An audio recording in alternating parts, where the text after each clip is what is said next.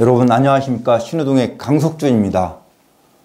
요번에 우리 국민이 공무원이 북한 해상에서 총격으로 살해당하고 해상에서 불태워지는 엽기적인 일이 일어났죠.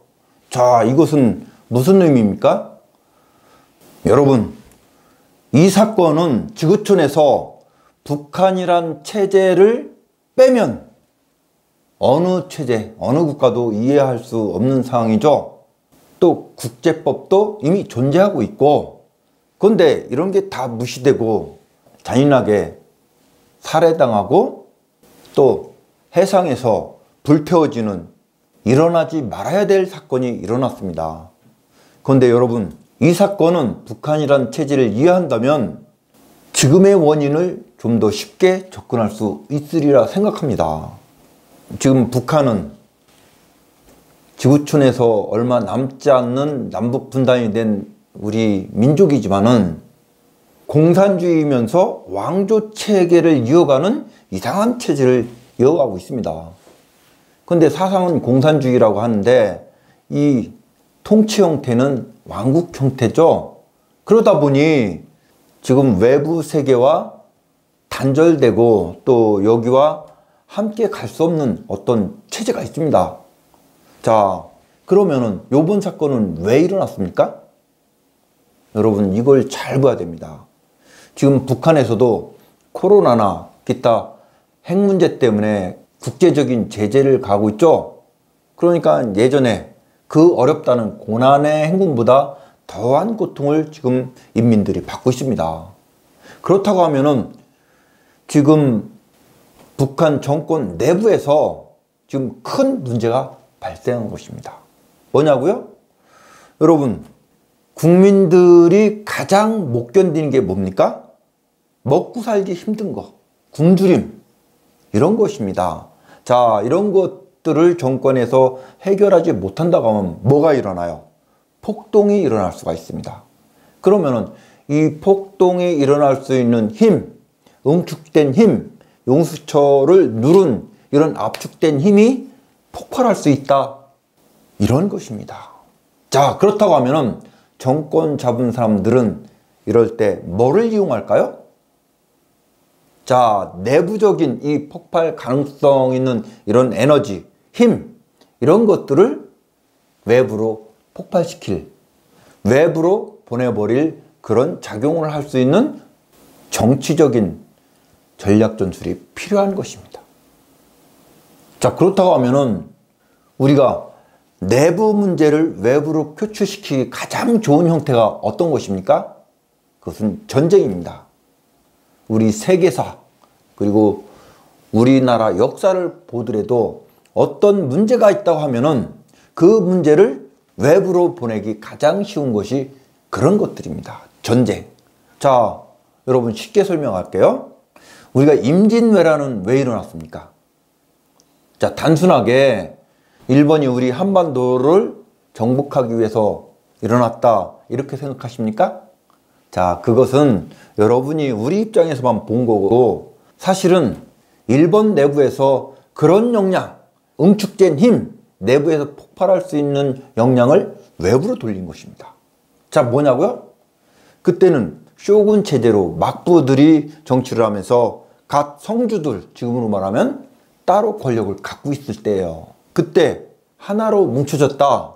그러면은 계속 쇼군끼리 성주끼리 싸움하던 이 사무라이들 이 군대의 힘들이 만약에 전국이 통일됐다 라고 한다고 하면은 이제는 할 일이 없어진 것입니다. 즉 지금으로 말하면 실업자가 된 것이에요. 군인들의 직업은 뭡니까? 전쟁입니다. 그러다 보니 이 응축된 힘, 이 힘을 외부로 돌리기 위해서 우리 한반도를 선택했다. 그래서 거기에 막된 응축된 힘을 한반도에서 없애버리는 것입니다. 자, 이것뿐입니까? 근대사에, 가까운 근대사에 보면 중공도 마찬가지예요. 모택동이 장개석과 전쟁을 했죠. 근데 결국은 국민당과 공산당이 싸우다가 국민당이 패해서 타이완으로 도망갔고 나머지 국민당 하에 있었던 군인들이 모두 항복했습니다. 그렇다면 모택동이 이 항복한 군인들을 그냥 처형할 수 없어요. 그냥 없앨 수 없습니다. 하지만 이 내부적으로는 이 군인을 그냥 두면은 굉장히 위험성이 있습니다. 그게 뭐냐고요? 혹시 이들이 지금은 항복했지만은 뭉쳐서 다시 쿠데타를 일으킬 수 있는 힘이 집약돼 있다. 그러면 이 힘을 어디로 돌렸습니까? 때마침 한반도에서 유교 전쟁이 터졌습니다. 자, 그러면은 모택동 입장에서는 북한의 공산주의를 돕는다는 명분 하에 이 국민당에서 항복한 이 군인들의 위험성 있는 이 응축된 힘을 어디다 뺄 수 있어요? 자, 우리 한반도 6.25 전쟁에다 뺄 수 있습니다. 어떻게 뺐냐고요? 그들이 항복했으니까 너희들이 지금 항복했지만은 지금 한반도 가서 공을 세우면은 그 공로를 인정하겠다. 라고 하니까 국민당에서 항복한 군인들은 어차피 거기 있어야 진급이라든지 어떤 출세길이라든지 먹고 사는 문제가 걸림돌이 많을 텐데 이런 게 한반도 와서 전쟁을 치르고 자기 직업이 그거니까 그리고 공을 세워서 모택동 이 정권의 신임을 받자 그리고 여기서도 자기의 위치 소셜 포지션을 잡자 이런 것이었었습니다. 그러니까 모택동 입장에서는 이때 많이 죽어야 되죠. 그러니까 각자가 전부 총을 주는 게 아니에요. 우선 화력을 준 게 아니라 여러분에게 익숙한 인해전술 있죠? 앞에 사람만 총을 들고 뒤에는 꽹가르치고 북치고 하면서 달라붙어요. 그래서 앞에 사람이 쓰러지면 그 총을 들고 또 달라붙습니다. 그러면은 남한과 미군의 전력이 약하더라도 많은 국민당에서 항복한 군인들이 죽게 되어 있습니다. 하지만 이 뒤에서 지배층, 리더들은 이런 죽음을 감수하고라도 자기의 어떤 출세길을 위해서 그걸 인해 전술을 행한 거예요. 그래서 100만 군대를 보냈죠. 한반도 전쟁에. 그리고 힘을 싹 빼버렸습니다. 자, 그뿐인가요? 독일도 마찬가지입니다. 히틀러가 2차 대전 일어났을 때 그 독일의 내부의 경제는 한계에 다다랐습니다. 그때 다른 나라를 침략하지 않고 또 내부에서 어떤 문제를 해결하기는 너무나 힘든 상황에서 히틀러는 이것을 외부 2차 대전으로 힘을 뺀 것입니다. 그래야지 독일의 단결력, 그 다음에 본인의 위치 이런 걸 그대로 유지할 수 있었기 때문에 2차 대전을 일으킨 것입니다. 그 결과가 안 좋더라도 이렇게 외부로 뺍니다. 자, 그러면은 우리가 이런 걸 예를 들었으니까 북한을 예를 들게요. 지금 북한은 고난의 행군 시절보다 더 어렵다는 국제적인 제재와 지금 코로나가 번창하겠죠? 코로나에 안전한 나라는 지금 아무도 없습니다. 왜냐고요? 그것은 중국과 접경지대가 바로 북한 아닙니까? 우리나라보다. 우리나라가 이 정도라면은 북한은 지금 경제적 사정에 의료 체계도 마비됐는데 지금 코로나가 일어났을 가능성이 크죠. 그런데 지금 내부에서 이렇게 인민들이 굉장히 어려운 그리고 뭔가 폭동이 일어날 이런 힘이 많이 뭉쳐져 있어요. 이걸 빼기 위해서는 자, 코로나는 다른 나라 때문에 생긴 거다. 그래서 저번에 탈북했던 사람이 다시 월북했는데 그 사람에게 코로나를 뒤집어 쓰였죠. 그러면서 김정은이 해안 경비를 강화시켰습니다. 그리고 국경 경비를 강화시키면서 거기는 왕과 같으니까 명령을 내렸겠죠. 우리 내부에 지금 어려운 것은 외부와 더 단절시켜야지 해결될 수 있다. 이렇게 말입니다. 그러면은 그런 걸 이용해서 내부적인 단결, 그 다음에 주민들의 폭동, 또 인민군의 어떤 쿠데타, 이런 것들 막을 수 있는 힘을 더 강화시킨 겁니다. 여러분 이해되시죠? 자, 늘 그래왔어요. 6.25 때는 통일전쟁이란 명분하에 남침했지만은 그때 이후에 또 일어난 것들이 많죠. 연평도 포격, 서해 교전, 그 다음에 도끼 만행 사건, 여러 가지 북한이 공격적으로 나왔습니다. 자, 늘 그래왔어요. 그러면은 북한은 내부적인 요인이나 외부적인 압박, 국제적인 압박이 오면은 왜 남한을 칠까요? 자, 여기서 그 전에 중국 네티즌들에게 어, 여론조사한 그런 굉장히 재미있는 조사가 나왔습니다. 거기서 무슨 말이 나왔냐면 중국의 네티즌들이 모아서 의견을 낸 거예요. 자, 미국은 때리고 싶은 놈 언제든 때린다. 자, 영국은 어떠냐? 영국은 미국이 때린 놈 또 때린다. 프랑스는 자기를 때린 놈을 때린다.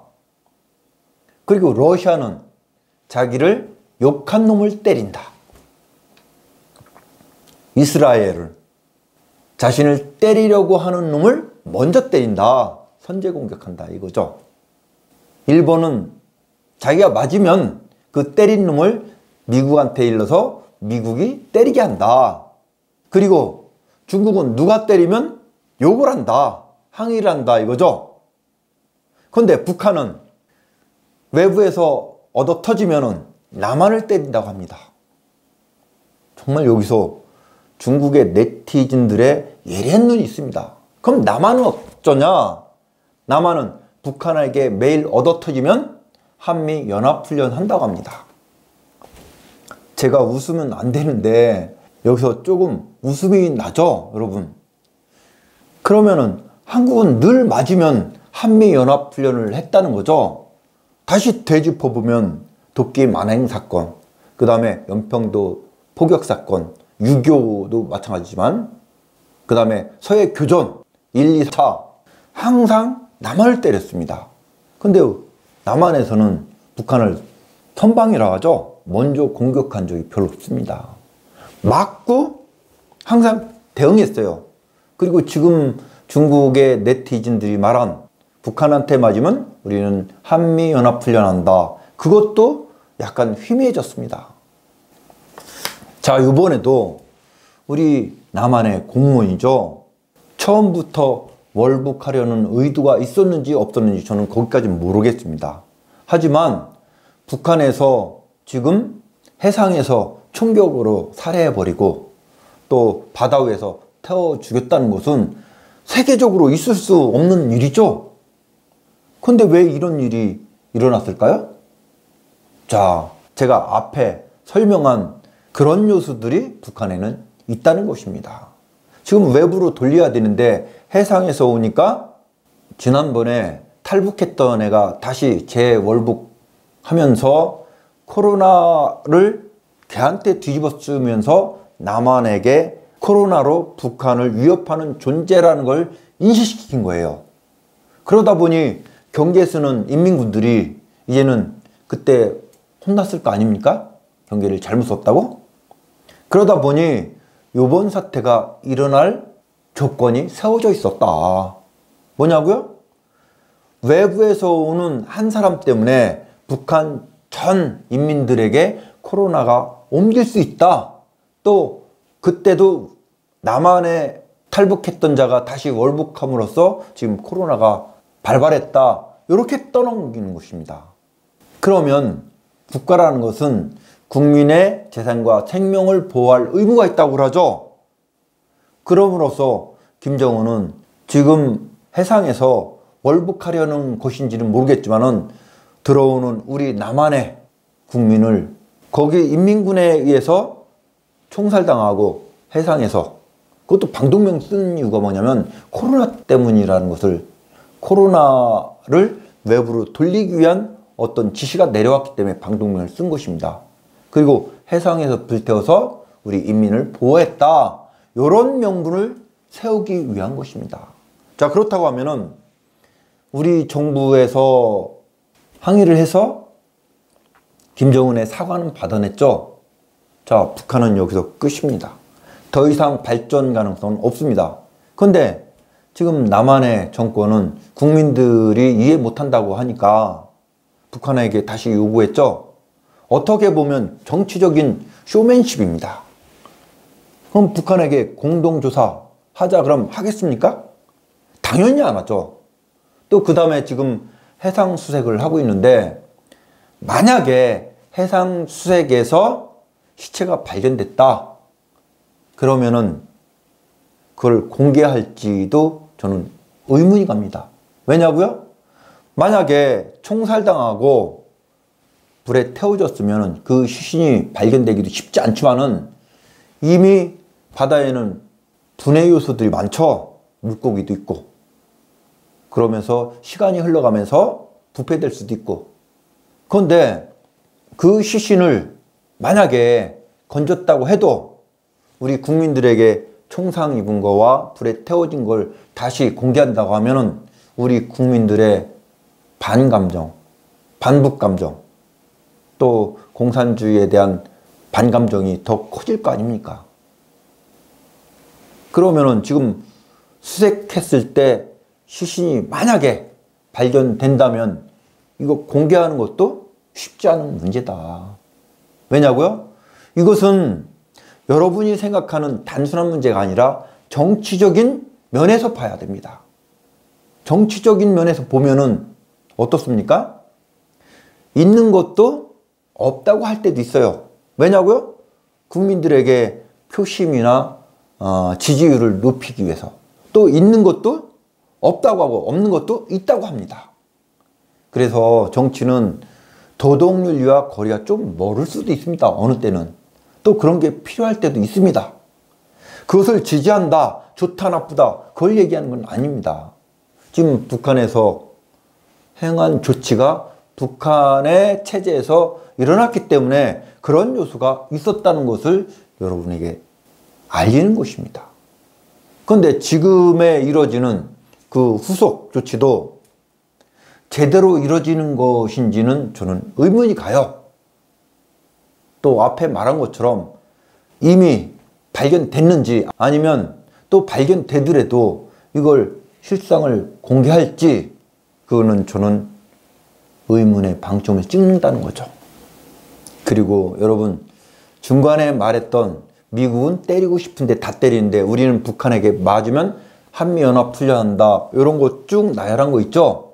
자, 국가 간의 문제는 어떤 도덕성, 또 배려성, 이런 거보다 국익을 최우선시 해야 됩니다.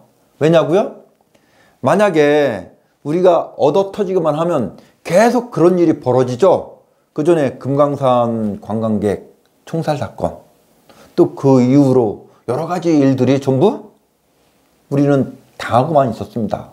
그렇다고 하면은 국제적인 관계에서 이렇게 맞으면 가만히 있으면 그런 일이 되풀이 된다. 그리고 그 피해가 누구에게 간다? 국민에게 가는 것입니다. 그렇기 때문에 국제 관계에서는 국익을 최우선적으로 생각해야 됩니다. 그리고 거기에 어떤 배려, 사려, 또 감정 이런 게 들어가면은 손해가 난다. 이런 것을 지금 보여주고 있는 것입니다. 여러분 계속 얻어 터졌지 않습니까? 그러면은 얻어 터진데 계속 우리가 막고만 있고 거기에 대한 큰 조치가 이루어지지 않는다고 하면은 계속 그 피해가 국민들에게 이어질 수 있다. 그래서 국가 간의 관계에서 우리 국민의 재산과 생명을 보호하는 정권은 이것을 잘 읽어야 됩니다. 요번 사태와 같은 것이 또 일어나지 말라는 보장은 없습니다. 우리가 전례를 들으면 충분히 또 일어나죠.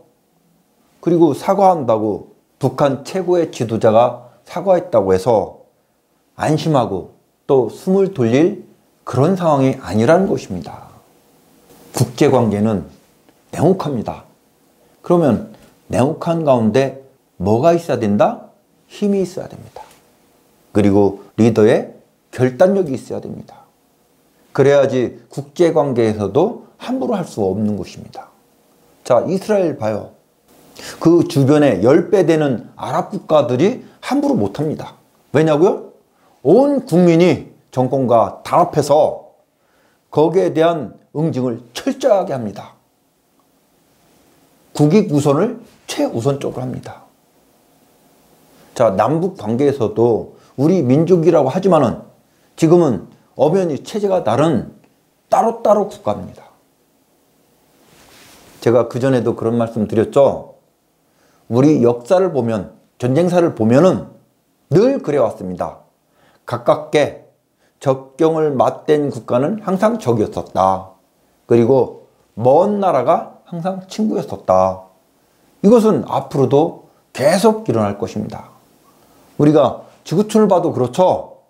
자, 미국이 왜 지금 패권국가가 될수 있는 조건을 가졌나요? 주변에 보면은 태평양으로 보면은 큰 산맥이 쭉 자리 잡고 있죠. 그러면서 위쪽으로는 캐나다도 거의 같은 편이죠.